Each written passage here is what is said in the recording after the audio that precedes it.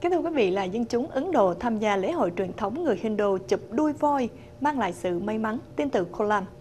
Hàng trăm dân chúng sẵn sàng hiến thân để chuẩn bị cho mùa lễ hội truyền thống chụp đuôi voi tại Kolam, tiểu bang Kerala, quốc gia Ấn Độ. Đây là tập tục lâu đời với những truyền thuyết từ thời Hoàng Kim của lãnh chúa là Kartikeya, thường hay có thói quen là nắm giữ đuôi voi của Ganesha và từ đó thì tập tục chụp đuôi voi được ra đời tại làng Kolam.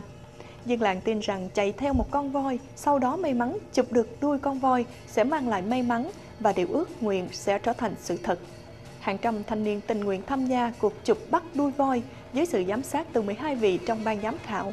Ấn Độ là một trong những quốc gia có nhiều tập quán truyền thống văn hóa liên quan đến đời sống của động vật hoang dã và đã thu hút thổ dân địa phương, khách ngoại quốc hiện diện tại Kolam để chứng kiến hàng chục thanh niên được chọn lựa kỹ càng để tham gia vào cuộc thi chụp và kéo đuôi voi kỳ lạ này.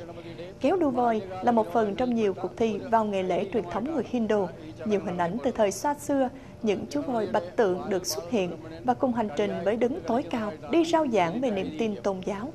Cũng từ đó thì nắm bắt và kéo đuôi voi mang lại sự may mắn và thành công trong năm, trở thành một phần trong lễ hội truyền thống quan trọng tại làng Kolam, quốc gia Ấn Độ. Hàng trăm dân chúng đã chuẩn bị sẵn sàng để tham dự cuộc đua chạy và nắm đuôi voi hào hứng, thu hút dân chúng địa phương tới xem.